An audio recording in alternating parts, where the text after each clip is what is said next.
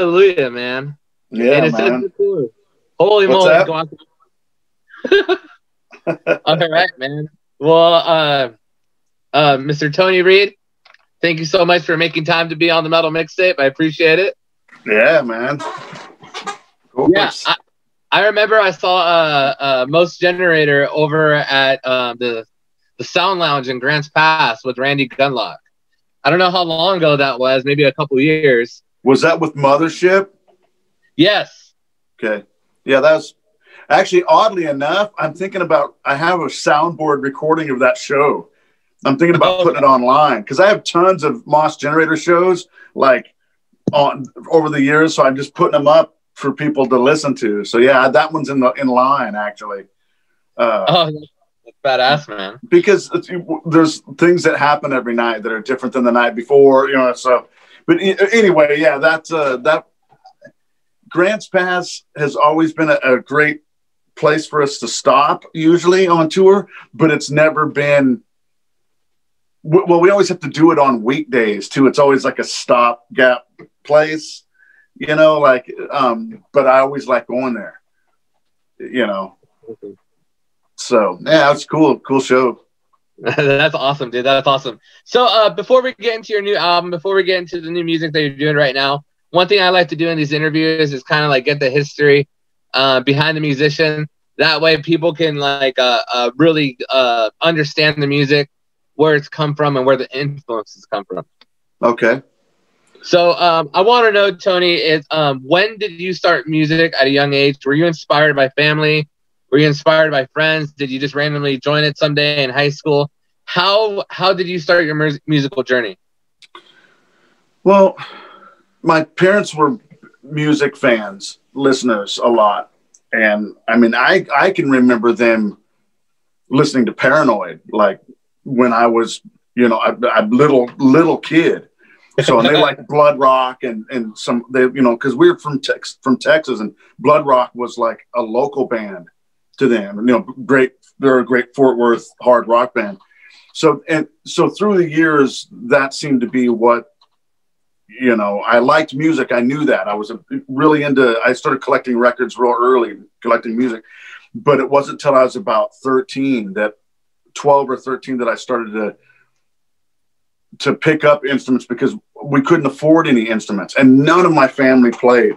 So it wasn't like there were things laying around the house. So it wasn't I didn't get my hands on a guitar until I was 12 or 13 something like that. And uh and it just after that I went crazy, you know. And, and the early influences, of course, were, you know, Kiss. So I'm 51. So anybody that's a musician that's 51 years old, Kiss is probably on their list of Yeah. things, you know. Uh, Kiss, Black Sabbath, and Rush were the three bands right right when I was, you know, I was I discovered Kiss when I was nine. So right then, and I knew rock music, you know, I mean, I knew, but Kiss was something else. And, and I, I heard it without seeing them. So I heard Deuce off Kiss Alive. I'm like, wow, this is awesome. And then I saw a picture of them. And then when you're nine and you see a picture of Kiss, especially then when they were really cool, um, you're like, okay, this is this is awesome. So this is my cousin brought me this music.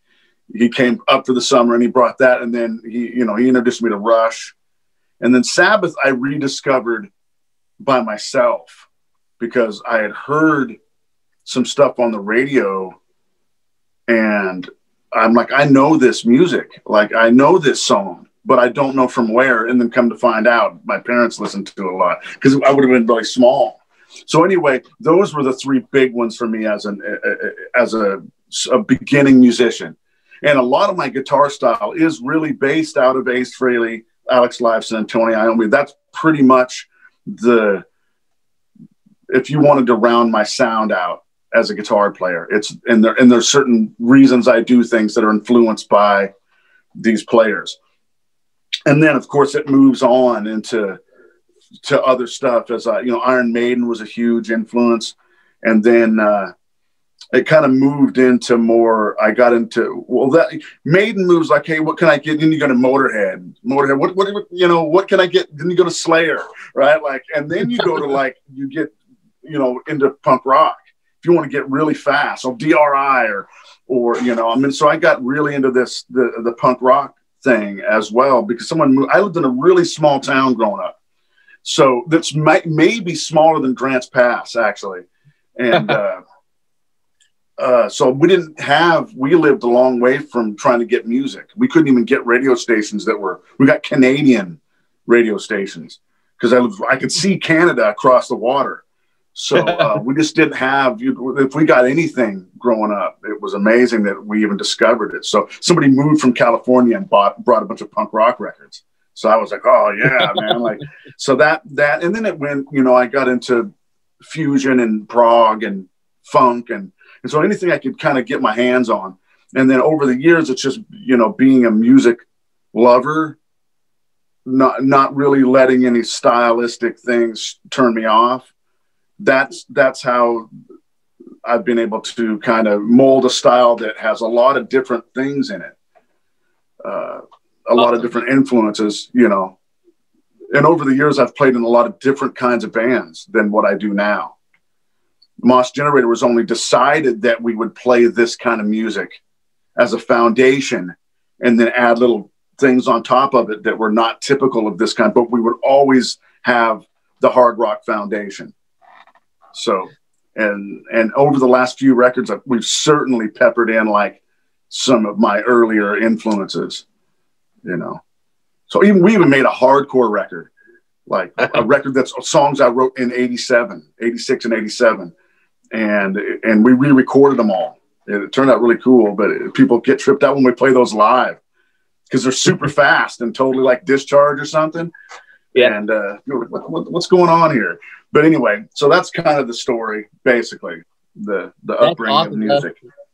That's awesome, man. How uh, you know? Um, since you know, um, you discovered music at a young age. Um, I always thought that like the '80s and like the late '70s were like this like golden era where everybody was trying new things, where all these new sounds were coming out. How do you compare the music scene from when it was like in the 90s, like early 90s, late 80s, compared to the music scene now? Um, now the 80s, the 80s is a weird time period for me as far as a music listener.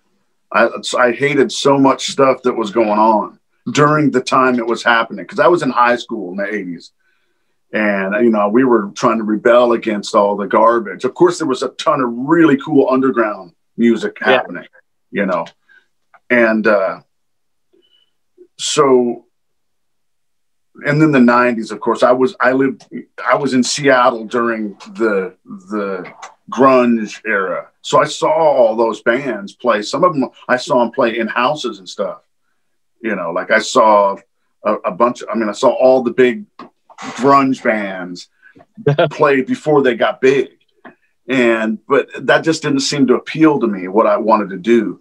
Now, if you compare the 80s and 90s to the 70s, I mean, really, like you said, 70s were a period of exploration and seemed to be a little more free. You know, record labels would allow a band to make four or five records and before they hit their stride, stuff like that. You know, like they would they would give give that. And then that kind of changed and it turned business wise. So a lot of bands, you know, didn't have time to develop before they got shut down. But, um, and then now I, I as far as, as music now, I have no idea what's out there that's in the upper, that's above what, what we all do in this kind of heavy rock community. That's really kind of all I pay attention to.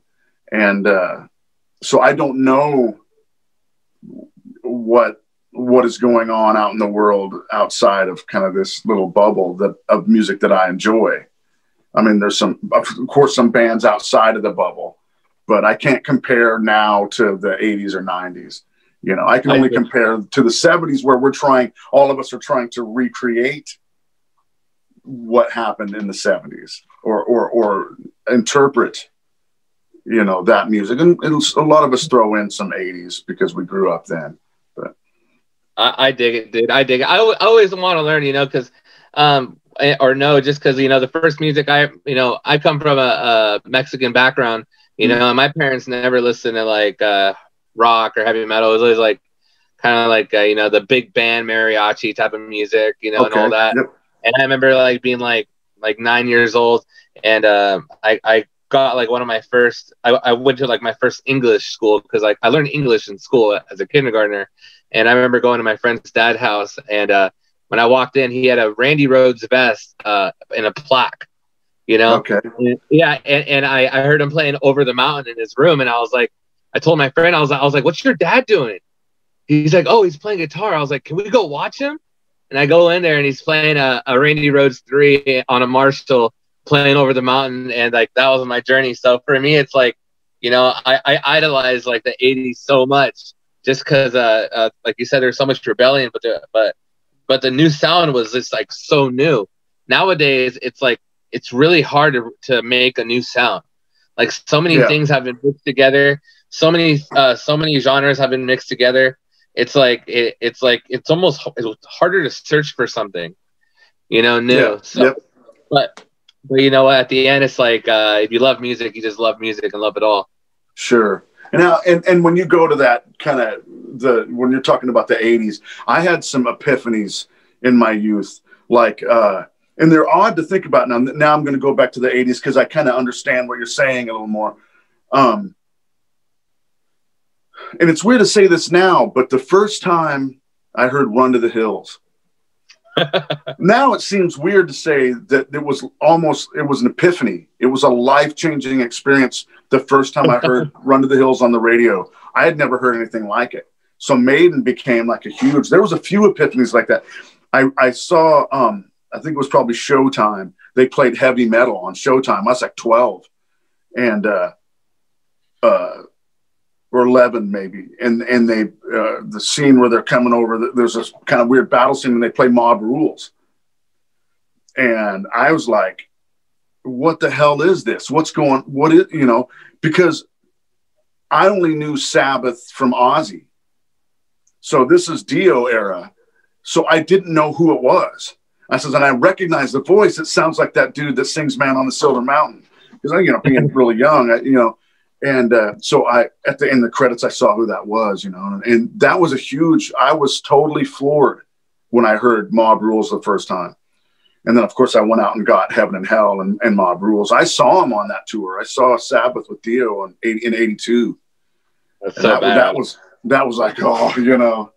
Um, but uh, yeah, so a lot of things happened in my youth, you know, uh, that maybe like you're talking about what's going on in, in that room, like you know, what's what's happening, and and and the Ozzy records were huge, Blizzard and Diary and Bark at the Moon and Speak of the Devil too, because there was like Speak of the Devil, you know, was I'd never heard Symptom of the Universe and I'd never heard Never Say Die because I didn't have those records yet. I didn't have Sabotage or Never Say Die. And mm-hmm. so hearing those played by Brad Gillis, you know, was really weird to hear all those Sabbath songs played like 80s style. You know? Yeah. Those, those, were killer records, man. Those are early, early Ozzy records are awesome, man. You know? Absolutely. And in the, in the rhythm section, Bob Daisley and Lee Kerslake, man, there's that's that's one of the top hard rock metal rhythm sections of all time on those first two albums yeah, you can't hardly touch it. I'll get music geeks, man. I, will go crazy on on talking about who was this in this and rhythm sections and this well, yeah. guy was awesome and so yeah. Anyway, well, okay. well, one of these days uh, when I see you, hopefully play live again, uh, we'll just have a beer and just talk about it for an hour. Sounds good. All right. So uh, moving on to Mos Generator. Um, how uh, one thing I want to know is how you came up with that name. And what's the meaning okay. behind Moss Center? Because well, because when I when I read it, it didn't really click to me at first. So if you want to let me know a little bit about okay. it. Okay. So it's a it's it's really kind of a private joke, and uh, it okay. The story it's supposed to be two S's, and we took one off. But our original drummer had this drum. It was a 26 inch Ludwig kick, and he we used it through a lot of the 90s when I was in another band with him, and he left it out in this open garage, and it got all this moss grew all over it. so we started calling it the moss generator. But we, we, but that was he would, and then we were doing demos for the when we first got together and we didn't have a name yet and we couldn't Yeah. get a good kick drum sound in the studio. I'm like, I wish we had the Moss generator. Like, and then there it was. Like, let's call the band that, you know, and uh, not knowing, I think Mondo generator had only been out like a year or something. And I just, I, I actually, I never followed any of that kind of music. I just liked what I liked. I, I liked, you know, Sabbath and, and, and stuff like that. I didn't know anything about Sleep or Kyuss or or any of those bands. Um, so when we started, we were just making music that was it was almost just based off of 70s underground 70s rock. Especially our Yeah. earlier records are just kind of rock records, real like not ex- very exploratory, just almost with a because I'd come out of a band that had a little pop, like a power pop feel. So I was trying to make heavy rock with hooks. So it ended up sounding like Monster Magnet actually. And I didn't know Um, Monster Magnet either. We started our earlier records got compared to Monster Magnet quite a bit. And I'm like, I don't even know like who this Wyndorf guy is, like, you know. and so then I would Yeah. start listening to that stuff and go, oh, okay, I, I get it, you know. Absolutely. So um anyway, uh that's the name. And we just and I don't know if taking the S off was a good idea because we have a lot of you know mis mispronunciation, but it's okay, you know. I mean, it's all right, dude. I almost made it after the first album, uh, like uh, MAS, like more. I was Oh, going to yeah. change the name to more like MAS generator. So just Yeah. like more, more power is what it Yeah. what it kind of, you know, and, uh, but we'd already made a record. So I'm like, I can't Yeah. change it now, you know? Uh, anyway. No, I, I dig it. I dig it. So, um, you just came out with a new album. Um, the name is very interesting of this new album. It's a big name: Strange Powers, Astral Projection, Re- Reincarnation, and Spiritual Healing through Sonic Vibrations. Okay. That record is Is that the new one, or did I just reference? Well, no, there's there's been two EPs released. We released three records and a seven inch this year. So it, this because Whoa. there's something going on. But see, here's the thing: the Strange Powers, as I call it, just to make it easy, that is a compilation of songs from the three records we did for the French label Listenable. Okay. So we can't get those records. We toured two, we did a, two US tours without any of those records because they were either out of print or really expensive for us to get. So listenable records allowed me to make a pressing of my favorite songs from those three records so that we would have those tunes to sell to people. So that's basically just a compilation. So if you were going to be, that's a really, if you're a new fan and you wanted to, to, um, where's the starting point? That's a great starting point because it represents us over the last six years. Um, there's, there's many, I mean, actually, like the latest record that came out a couple weeks ago, that's the 20th Mos Generator 12 inch record. Wow.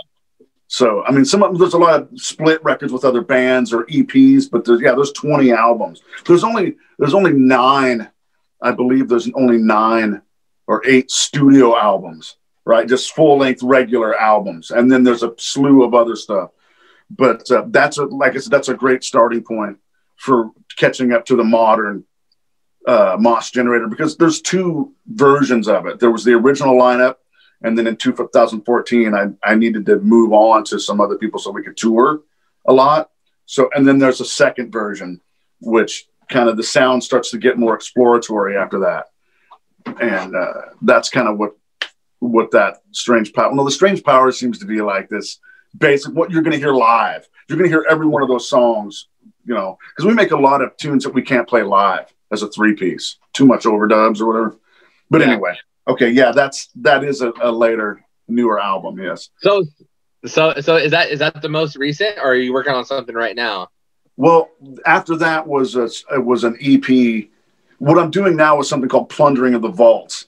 So I'm just going Okay. through stuff that's sitting there that's never been released because I've I've always owned my own recording studio. So there are ca- almost not countless, but you could say like just massive hours of of rehearsals or or demos or unreleased material that I've been going through. So there's been two other EPs released since that Strange Powers with Oh, awesome. stuff that I'm pulling from the vaults. And but really there is no new album in the works because our drummer lives in Texas. So it was already difficult enough to make records. Now it's it's it's almost impossible. And I can make I can do the demos all by myself and play the drums and all that. But I I like writing with other other absolutely. players because then you get their take and they can take it a whole other way. I've done a lot of our records where I did that. I tracked everything and then they would come in and either re-record stuff or not. Like they would just keep my drum tracks on the record or whatever. But um, I I like bouncing, you know, if I can. So I don't really see there being anything. But there's already a bunch of stuff slated for next year. A bunch of uh, reissues of albums of ours that are out of print. There's like three reissues coming out next year. So at least we're active without being, you know, active. So That's awesome. yeah, yeah. I'm, I'm excited. I'm excited. You know, just keep just keep things going because I'm super busy. I'm in a whole bunch of bands, and I stay busy all the time, uh, working on because I I'm a I'm a record producer, so I just do stuff all the time, every day. That's what I do every day is mix records or master records for vinyl or whatever, or work on my own stuff, whatever the projects are. Um, That's awesome, man. You sound like a busy person. yeah, yeah. All right, uh, Mr. Tony, we're going to get to the second part of the interview. I'm going to ask Okay. you four fast questions. You only have Okay. 30 seconds or less to answer each question. Tony, are you ready? Yes.